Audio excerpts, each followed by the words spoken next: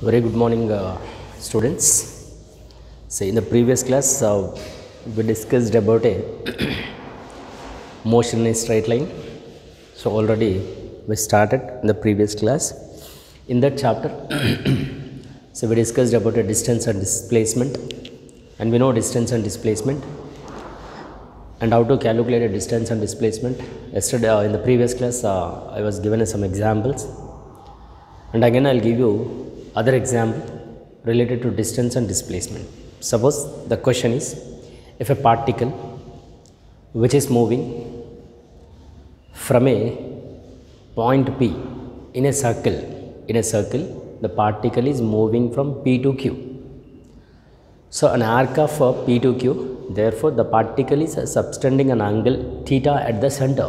The question will be suppose you take the particle which is uh, moving from P to Q. This is the arc of length because of moving from P to Q. Therefore, the P uh, this particle subtending an angle at the center is angle theta. Therefore, this line is the radius of the circle and is asking now find a distance and displacement. See the PQ is the arc length. You remember PQ is the arc length, right? And the particle moving from P to Q. Now is asking find a distance and as well as is asking displacement.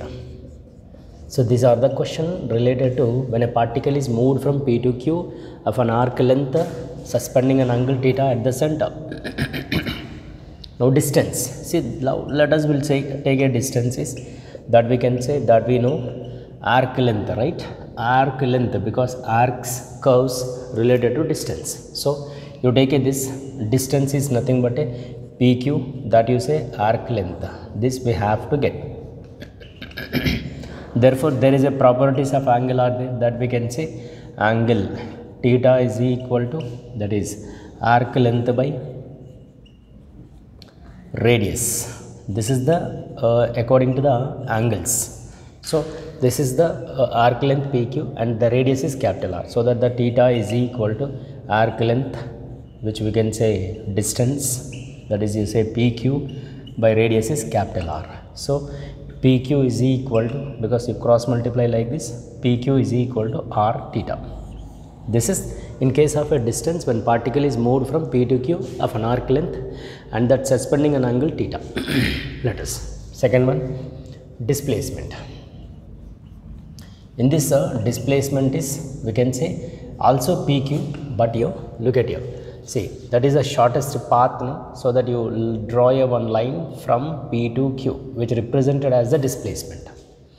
So actually we don't know this length we don't know the, the shortest path so that we have to find. So for that purpose you take a one line from the center of the PQ straight line you take like this. So this is you say X and this is also you say X. So the point is you say C. so that now the angle can be it is to be at a center theta no? Then you take a half no? Theta by 2 it is and again it is also theta by 2 so now displacement pq is nothing but a, it is 2x now we should get an x value. So by using a triangle right angle triangle it is ocq or you want to go with the ocp also no problem no problem so from triangle triangle that is you say OCQ or you want to go with OCP anyone. So actually we should get an x value so that you take a opposite angle opposite you take. So opposite is only we have sine theta by 2 which is equal to that is sine theta by 2 is equal to x by that is uh, we can say hypotenuse no radius so that you say radius is r. So x is equal to r sine theta by 2 this is the x value. Here you take equation 1 it is it is equation 2 now substitute 2 in uh, 1 therefore that is the displacement. Or you say pq straight line is equal to 2 into x value. There you write r sine theta by 2 this is about a displacement. See distance and displacement when arc length so the particle is moving from p to q of an arc. So that the particle is suspending an angle theta at the center so that the distance is equal to rt r theta displacement is equal to 2r sin theta by 2 so this is about a distance and displacement when the particle is moved from p to q in arc of length in an arc of length. So this is the another example related to distance and displacement. Okay? You go through this example.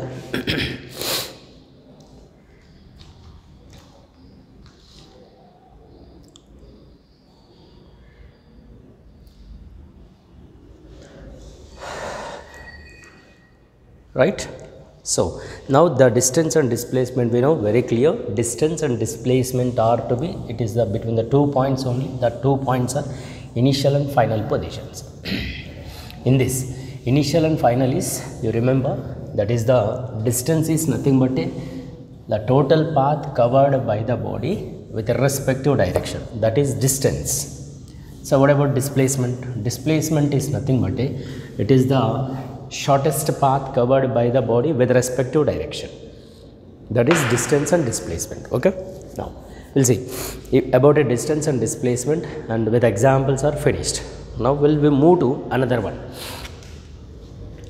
You take another quantities speed. Speed is the another quantity which we can say v. Generally speed is a scalar. Here you remember it is a scalar first point because we know vector and scalar. So speed is defined as in general speed is defined as it is the distance by time. That's what. Distance is a scalar so that we can say it is a distance by time. So when distance is scalar no therefore it is a what happens it is also uh, speed also scalar so distance by time that is we can say with respect to time the distance is changes. We can call as a speed. So v is equal to we can also say ds by dt. The rate of change we can call the rate of change. So the rate of change of distance. Or we can also call with respect to time with respect to the time right? With respect to time the position position of particle is changes of bodies changes. This we can also call as a uh, speed. Ds by dt or the distance by the time. That is we can say the rate of change of distance so with respect to time the distance is changes which we can call as a speed. So distance is a scalar time also scalar so that it is a scalar. Let we'll move to here. Uh, dimensional formula also we have to write here dmf the dmf is we can say in general uh, l by t therefore which we can say l t power minus 1 and coming to the units say unit is in CGS system that we can say centimeter per second and MKS system which we can say meter per second.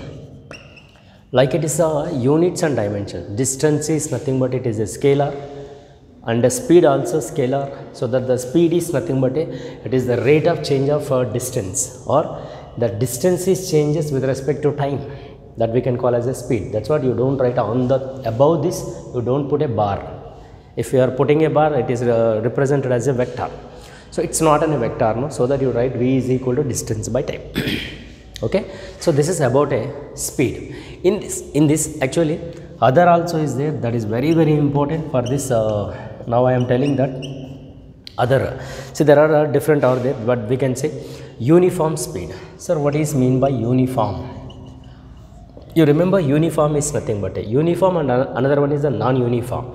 Suppose the particle is uh, moving from point a to b right? Or the body is moving from point a to b between the two points. So that the body covers equal distances in equal interval of a time. That means here in a 1 second in a 1 second that body travels a 1 meter. And next 1 meter also it travels uh, in a 1 second only. And the next 1 meter also it takes a time is only 1 second. Next 1 meter also it takes a time only 1 second that mean here uniform speed is nothing but a, the particle is covers equal distances equal look at 1 meter, 1 meter in equal interval of a time. So that's what equal distances in equal interval of a time which we can call as a uniform speed. Uniform in the sense is the particle is covers equal distances in equal interval of a time. That's all. now what about non-uniform? See non-uniform is nothing but a see here there is a thing. If the same you take a, a particle is uh, traveling from B to A to B. Therefore it may covers 1 meter in 1 second. But next uh, 2 meter it takes a 1 second. Next uh, 3 meter it takes a 1 second. 1 meter it takes a 1 second. Like look at here. There is a non-uniform is nothing but a the body covers unequal distances. Look at 1 meter 2 meter 3 meter 1 meter. But in equal interval of a time. Or we can also say like this see or we can also say like this. Suppose the particle is again it is same position. You say now you take a equal distances but in unequal interval of a time. That is 1 second it may be 2 seconds it may be 3 seconds it may be 4 seconds. It may takes like this see non-uniform in the sense is the particle is travels between the two positions. See it covers unequal distances in equal interval of a time or it is equal distances in unequal interval of a time. That's what we can call non-uniform.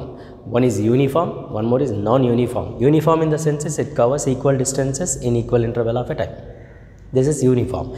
Non-uniform in the sense is it covers unequal distances in equal interval of a time. Or we can say equal distances in unequal interval of a time. Sometime we can say both also changes. We can also say like this both. 1 meter 2 meter 3 meter like 1 second 3 seconds 4 seconds. It may takes yes it is also unequal distances unequal interval of a time. Like this we can say uniform and non-uniform speed okay? Suppose the example for non-uniform is nothing but a, if a body falling freely see motion of a motion of a freely falling body for unequal i mean to say motion example motion of a freely falling body. That is when body falling freely like this so for freely falling what happens? It may covers unequal distances in unequal interval of a time. That's what we can call non-uniform motion is example is uh, motion of a freely falling body. This is the very very important right? Okay this is a uniform and non-uniform related uh, uh, statements. And here speed is like this. And uh, it is a dimensional formula units. For all uniform non-uniform speed and i mean uh, units and dimensions are same this is the very very important right? So let us we'll move to another one. So this is also very very important. That is average speed see average speed here average speed. You write here average speed. V again. Sir what is average speed so the average speed is nothing but a, it is the ratio of total distance. It is the ratio of total distance traveled by the particle in a total interval of a time. That's what. Here we can say uh, average speed v average is equal to total distance. Total distance by total time interval or total time. That's what it is.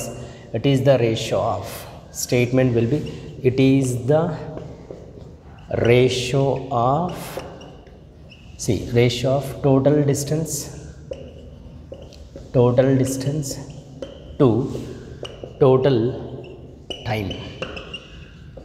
See total time taken is called as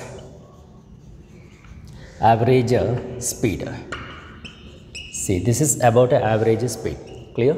However it is same units and dimension because distance by time no? So we can say it is the average uh, uh, average speed that is total distance by total time. Here we can also say like it is average speed is equal to see if it is given between two positions you take as a uh, x1 and x2 are the two positions. In a time intervals are given t1 x1 position time interval is given t1 and the particle is changed to x2 position therefore time interval be t2 therefore average speed will be we can say uh, final position minus initial position by final time minus initial time. Yes we can also take like this. Right? For average speed only. For average speed only it is. Okay. Right? And based on this i'll give you some example problems which are very very important both ipe as well as uh, Uh, objective examinations. See suppose there is a one question is given like question i am giving. If a particle is travels see if a particle particle is travel okay between two positions say between two positions that is a and b. So the particle is travels between two positions. See first half we can say like this first half of the distance first half the distance with the speed is v1 and the next half. You say next half the distance? Okay next half the distance.